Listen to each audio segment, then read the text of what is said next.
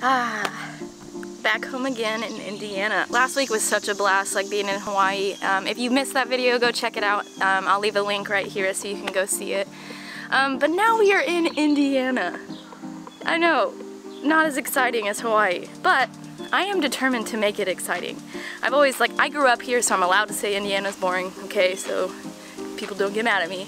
It can be boring, yes. I mean, like as an example, growing up here, one of like what we would do to make Indiana interesting is drive down Main Street blaring our music. I mean, that's all I really know Indiana as, so I'm actually going to try uh, exploring Indiana through like a tourist mindset, I guess. I don't know, because I feel like Indiana does have a lot to offer, but maybe it doesn't. Maybe it does. I guess we'll find out.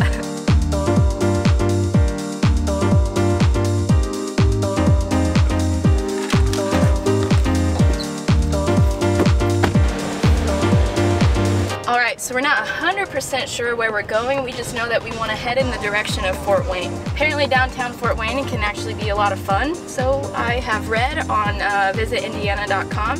So we're gonna go try that out.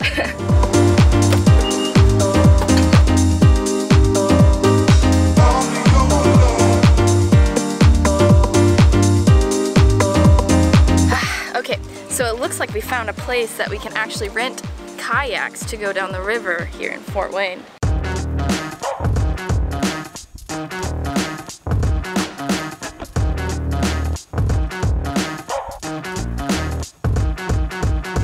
Um, today I'd really recommend at least starting by heading upstream.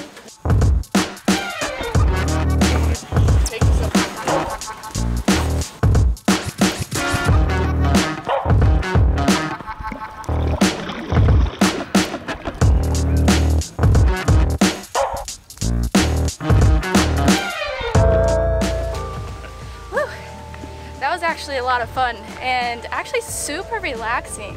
And there was these cool boats going by that looked like I want to come back and be on one of those party boats that looks so fun. And like the weather was perfect. It was just, that was enjoyable. And I even got like soaked.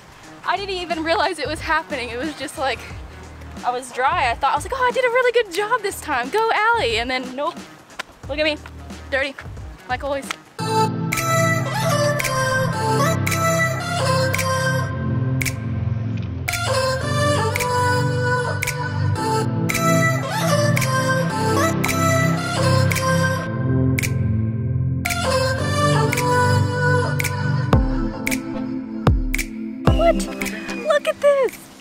You can come out here, bring your little foosball, and then play foosball out no, here. No foosball provided.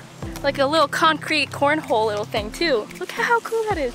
Oh, there's even like ping pong tables. Look at this. Dude, if I lived down here, this would be an awesome place to hang out at night. And I believe this is all new too, because I've never even heard of this before.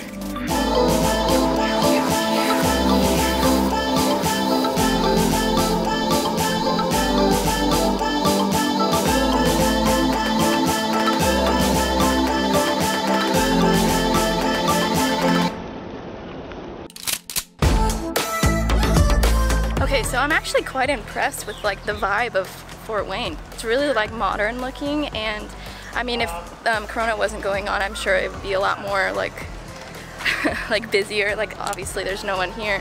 But there still are some stuff open because it's Saturday and um, we're hungry. So we're gonna go find some local eatery and I don't know test it out see if food in Fort Wayne can be good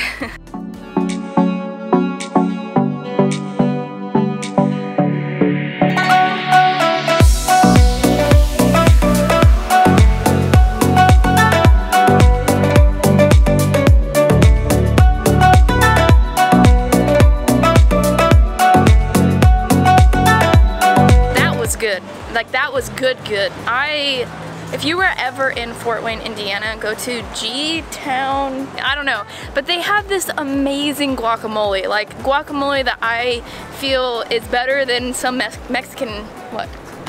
What is going on? I don't know. That, my friends, is called art. But yes, ah, we were just like, mm, best guacamole ever. I would recommend that place 100%. So unfortunately, since we don't have anything else to do, I think that's the end of this video. Um, if we had more time throughout the day, we would have done more because there is a lot to do here, like a lot. So if you enjoyed this video, please consider subscribing to my YouTube channel. Give this a like, all of those cool things, or not, you know. You can do whatever you like, it's a free world.